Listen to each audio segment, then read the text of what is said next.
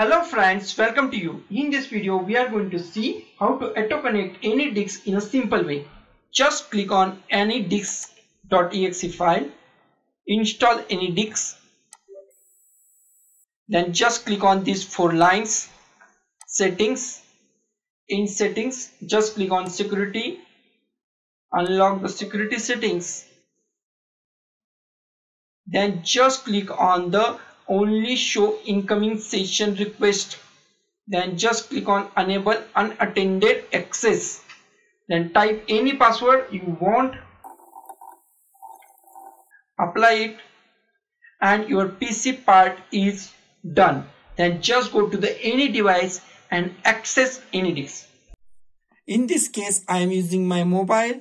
I just go to the AnyDesk app and just add my number PC number this number to my mobile. Then it's asked me for a password then I add my password. Okay.